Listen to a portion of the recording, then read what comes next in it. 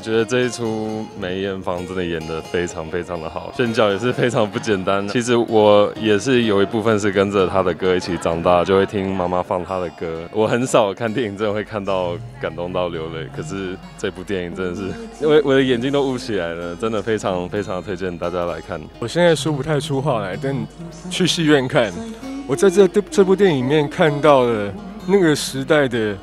不是演员，不是艺人，不是歌手，那个时代的明星，他们传达出来的价值非常棒，非常棒。我到现在，